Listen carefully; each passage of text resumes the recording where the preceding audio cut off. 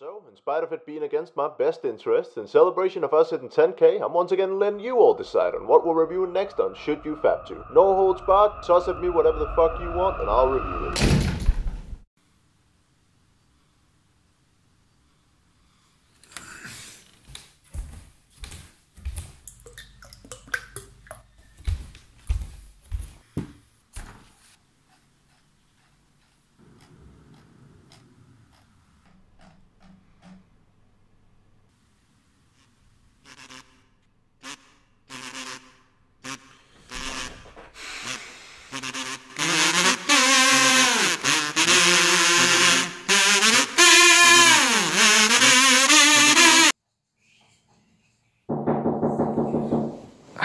Who's this?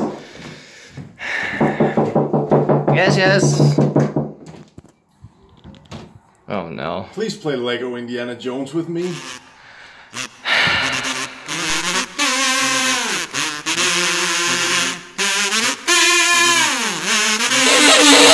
Lego Indiana Jones is a 2008 Lego game developed by Traveller's Tales and published by LucasArts. It follows the plot of the first three Indiana Jones movies, of which you can play in any order you so desire, either alone or in local co-op. That's right, if you want the best experience out of this game, you're going to have to share your prestigious gaming lair with another person. I know, disgusting. But hey, on the bright side, now you finally have someone to ask for a handy when you see Willie Scott in that tight-fitting dragon dress.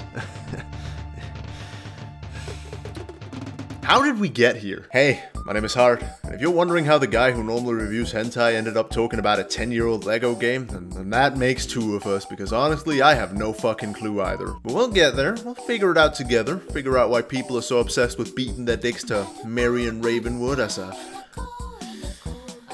literal block of Legos, but more on that later. First off, the story. As I just mentioned, the game follows the original trilogy of the Indiana Jones movies, all of which you damn well better have watched before picking up this game. As unless you're up to date on your Dr. Jones lore, many of the scenes are so heavily summarized that you just won't have a clue as to what the actual shit is happening. However, seeing as there's little to no attempt at telling the story through the gameplay, and Lego characters don't exactly speak even during their cutscenes, what you're left with is just a game that makes little to no sense unless you already know the full plot of it going in. However, if you happen to be an active reader of the Indiana Encyclopedia, well then you're in luck because now you get to watch all of your favorite scenes from the original movies re-envisioned by LEGO characters in glorious 480p resolution. The boulder scene, the rope bridge scene, the guy getting cut in half by a propeller scene, Marion really having to pee as an added fan service scene, and of course the infamous sword fighting scene.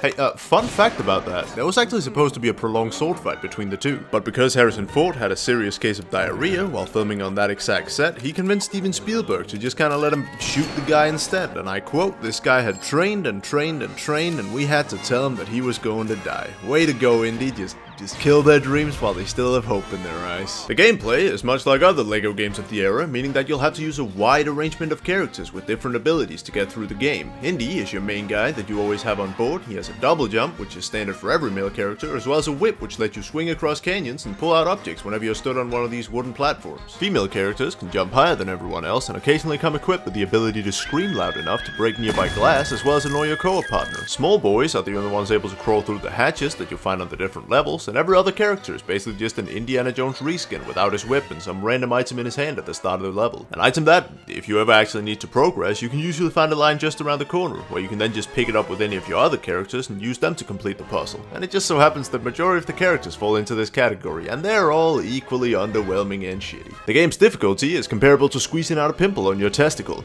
Easy? Sure, but very painful. Let me give you an example. This is one of the first puzzles that you encounter when playing through the Temple of Doom part of the game. It's not too bad, looks pretty sensible, right? Push the bed over, have Indy jump on the chair, then jump on the bed, jump to the platform, and swing yourself over to the level where you then complete the puzzle. Pretty straightforward, right? Wrong. You see, jumping in this game is not as easy as the game manual would have you believe, as whenever you're standing on any sort of elevated surface or Lego object, you can't jump unless you're at the very edge of whatever you're standing on. So something as simple as getting over a bridge with a couple of holes in it quickly becomes the agony of Cuphead of Dark Souls of platformers. Now back to our puzzle. You see, since we have to jump off at the edge of the bed, and the timing for doing so is pretty tight, considering that you have to be just at the edge, we found that the only way to consistently do so is just spamming the jump button as you walk off it. However, that also means that the moment we manage to jump off the bed, because we're spamming the jump button, we automatically activate Indy's double jump, which means he doesn't reach the maximum distance that he can travel with his jump, meaning that we're always going to end up just short of reaching the other platform. Yet when all seemed lost, we realized that if Willie jumps up into Indy as he's going across, she can push him up ever so slightly, which would hopefully, if timed correctly, give him just the momentum needed to make the jump. So our new strategy was now to get up on the bed, spam jump across the gap, and then just before Indy slams into the side of the other platform, Willie would jump up and push him that tiny bit in order for him to be able to make the jump, just as the developers intended. However, the timing was pretty tight, and simply getting onto the bed was a challenge in itself, but after about 10 minutes of trying, we finally got the golden run, the stars aligned, and we made it across. Excitedly, I stepped on the platform, pulled out my whip, swung myself across, right out of the camera, and respawned back on the floor. After successfully redoing the trick about 20 minutes later, we then had Willie run alongside the camera so as not to despawn Indy again, and with that we completed the puzzle. One down, 50 more to go. Now, the more educated amongst you might say, um, Hart, a lot of the problems that you're describing are caused by what's known as the sticky feet bug, which you can fix pretty easily by turning on VSync.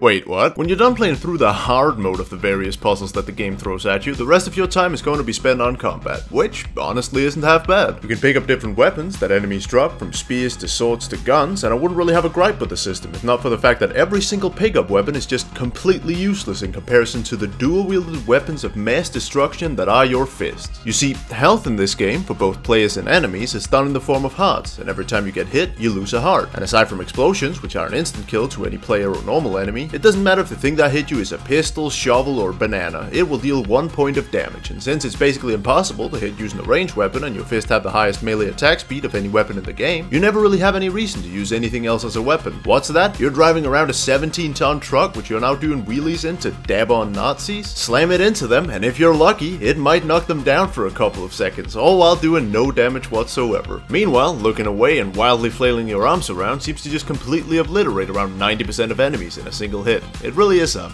well thought out and balanced system. LEGO Indiana Jones. This is an alright reimagining of the original trilogy, decent gameplay, tough as nails puzzles, but overall it really isn't anything all that interesting and probably won't be able to keep your attention for long. Should you play it?